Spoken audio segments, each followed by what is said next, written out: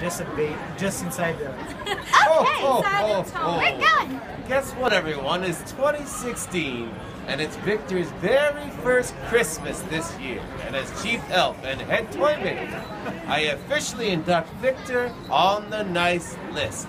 That entitles him to a lifetime supply of toys as long as he stays on the nice list. So Merry Christmas to Victor from Santa and the elves. おおお。